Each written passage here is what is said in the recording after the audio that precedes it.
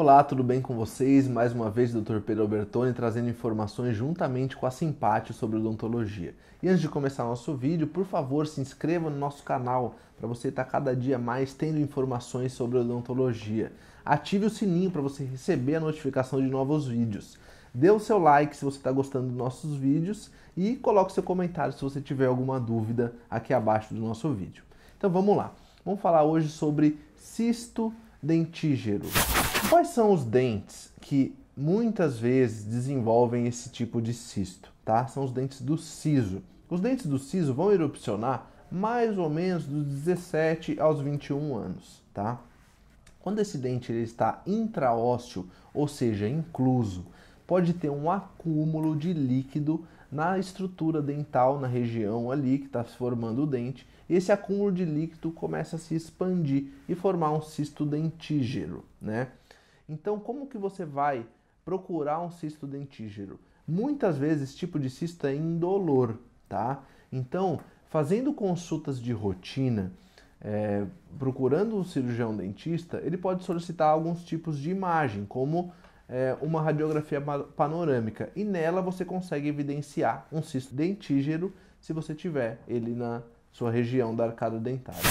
Como eu disse, o cisto dentígero muitas vezes é indolor. Quando ele está com crescimento avantajado, aí sim ele pode apresentar dor por conta de expansão de tecido. Então imagina uma membrana, né? Um acúmulo de líquido dentro dessa membrana expandindo ao longo do tempo. Isso vai pressionar outras estruturas do nosso corpo na região de crânio, eh, de mandíbula ou maxila no caso, e aí sim pode provocar alguma dor, tá? Como você pode tratar esse tipo de cisto? Principalmente procurando um cirurgião bucomaxilofacial, ele pode descomprimir esse cisto, porque esse cisto é um cisto que ele tem acúmulo de líquido. Então, quando o cirurgião faz uma punção, punção nessa região, ou seja, coloca uma agulha na região do cisto e puxa, vai vir um líquido meio amarelado dentro da seringa. Isso é uma característica muito é, que exemplifica um cisto dentígero. O que, que, pode ser feito nessa região? Se o cisto é muito grande, é, você corre sim um risco de fratura da sua mandíbula. Então imagina que você tem um cisto nessa região aqui bem grande. A parte ó, vai tendo uma reabsorção da parte óssea na mandíbula, no caso.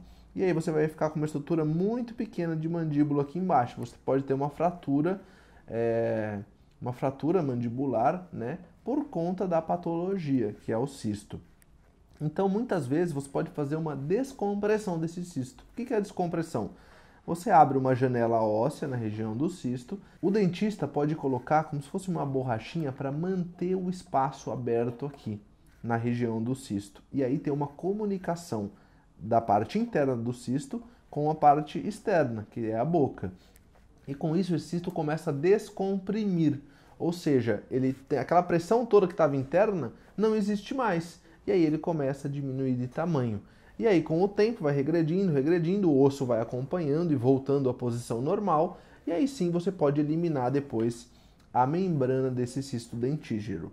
No caso, se o cisto é bem grande. Se o cisto não é tão grande assim, você pode sim é, extrair o dente associado, no caso o siso, e extraindo esse dente, você curetar bem a região e remover to toda a membrana desse cisto, que com o tempo esse cisto vai sumir, tá?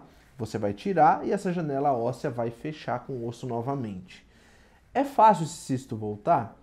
Muitas vezes não. Por quê?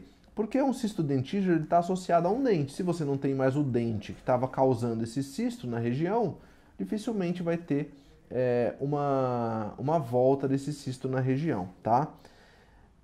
Pode acontecer se você deixar alguma membrana do cisto ali, ou seja, não retirar completamente a membrana desse cisto dentígero, mas também é meio raro. O cisto dentígero acontece mais em homens, tá? E principalmente em dente incluso, tá bom?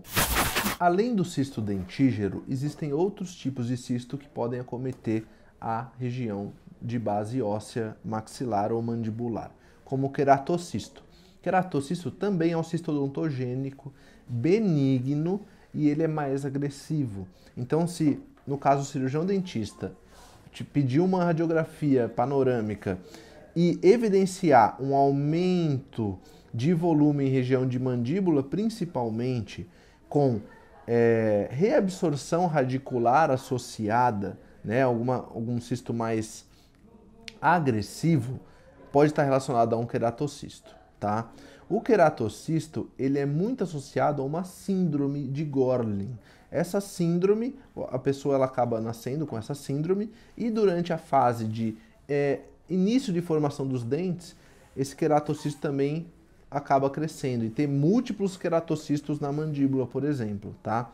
É o caso de várias cirurgias associadas para poder reduzir o tamanho dos queratocistos e eliminar completamente eles para poder ter um retorno é, de crescimento ósseo na região onde estava esse cisto associado. Existem também outros tipos de cisto, como cisto de erupção, cisto de lâmina dentária, que também fazem parte de cistos relacionados ao dente, tá?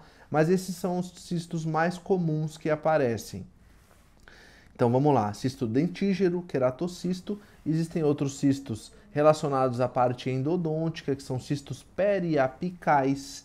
Então, cistos relacionados a é, base da raiz do dente, então envolvendo a raiz do dente, é um cisto, ou envolvendo a lateral da raiz do dente também, por conta de problema endodôntico, isso pode acontecer.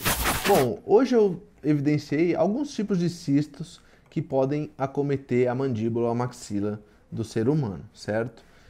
E para você que está gostando dos nossos vídeos, deixe o seu like, coloque o seu comentário aqui, é muito importante para a gente poder propagar essas informações para o maior número de pessoas e é cada vez mais trazer conhecimento e possíveis é, profissionais e tratamentos adequados para o seu problema odontológico. É isso aí.